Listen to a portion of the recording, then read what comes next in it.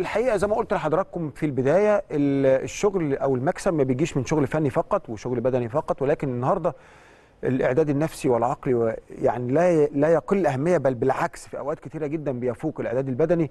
فالنهارده بنرحب بالكابتن أحمد الحفناوي أخصائي الإعداد النفسي والعقلي للفريق. أهلا بك يا كابتن أحمد. منورنا وألف مليون مبروك. شكرا شكرا جزيلا. بنرحب بلاعب الفريق ونجمه عمر غنيم مواليد 2002 أهلا بيك يا عمر. أهلا بيك. ومبروك وألف مليون مبروك الله على يبارك الفوز. في حضرتك. ربنا يخليك. كابتن أحمد يمكن أجي لحضرتك في البداية يمكن الإعداد النفسي دلوقتي بقى صداع في رأس أي جهاز فني. ليه؟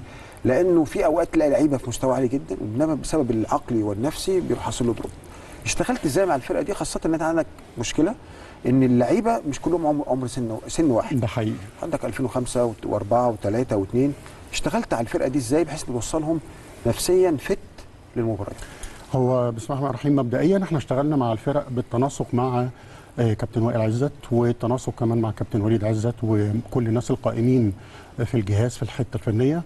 التناسق ده تم برضو خدناه لدرجات تحت إن إحنا نسمع كل ال كل ال- ال coaches اللي بيمرنوا كل مرحلة آه، سنية. هم شايفين من وجهة نظرهم إيه هي المشاكل إيه هي التحديات.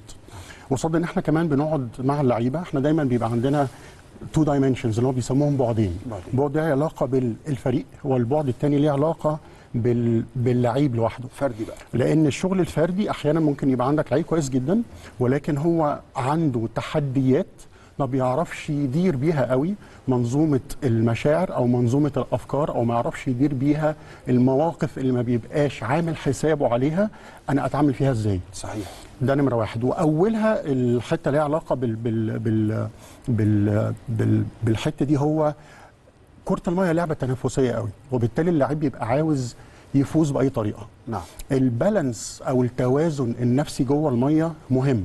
يعني لو أنت نازل جوه المية وحضرتك عندك سنة خوف أو قلق ده يأثر على ال performance 100% ولو حضرتك نازل جوه المية وعندك حماس زايد عن اللزوم برضه يأثر على الأداء. العكس صحيح. والعكس صحيح هيأثر صحيح على الاداء. هديك مثل بسيط. أنا النهارده لو داخل أشوط بلن بس أنا متحمس جدا جدا إن أنا فرتك الجون. الكرة على فكرة ممكن تطلع out صحيح لأن في آه، power زيادة. في power زيادة. آه، انت لازم مش مطلوب. دايما اللعيبة محتاجة تبقى فاهمة إنه ال balance أهم حاجة. ولو حضرتك زي كل المصريين كانوا متابعين كأس العالم هتلاقي حضرتك إن ال- ال- المباريات كاس العالم لما كان بتبقى ال competition عالية قوي هتلاقي دايما الكاميرا كانت بتيجي على الكباتن تلاقي الكابتن دايما بيعمل الحركة دي. إيه ده؟ ليه؟ عشان يرجع لل balance تاني. لأن ال balance ده مهم إنه يخلي اللعيب يطلع أحسن performance عنده في ظل الضغوط اللي موجودة. الله. تمام؟ وخلي بال حضرتك ده برضو موضوع في منتهى الصعوبة على اللاعب. لو ما. لقاش مساعدة من حضرتك يعمل ده إزاي؟ ما كل اللعيبة المدربين خليك استهدى. بس هنفذه إزاي؟ صح. صح؟ عشان كده في تمرينات كتير قوي زي التصور الذهني بتأهل اللعيب قبل ما بينزل إن هو يبقى عنده تصور ذهني لدوره جوه المية يعمل إيه وبنحط لها سيناريوهات كتير يعني هم يبقى عينه نازل. يسرح ويعيش في المباراة وهو لسه ما لعبهاش. وهو لسه ما لعبهاش. التصور الذهني مهم جدا لأنه بيخلي اللعيب بالظبط عامل زي الطالب اللي نازل مراجع المنهج جوه دماغه. صحيح. فال situation لما بيحصل رد الفعل موجود لأنه already خزنه. تمام؟ موجود عنده تمام؟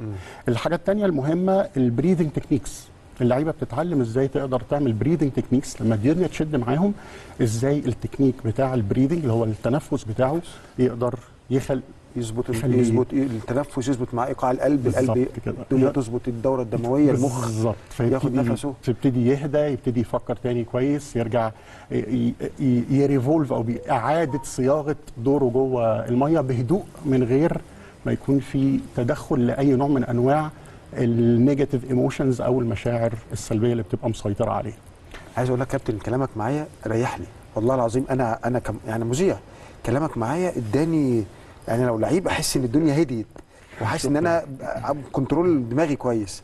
لا ما شاء الله ده عالم كبير كبير. طبعا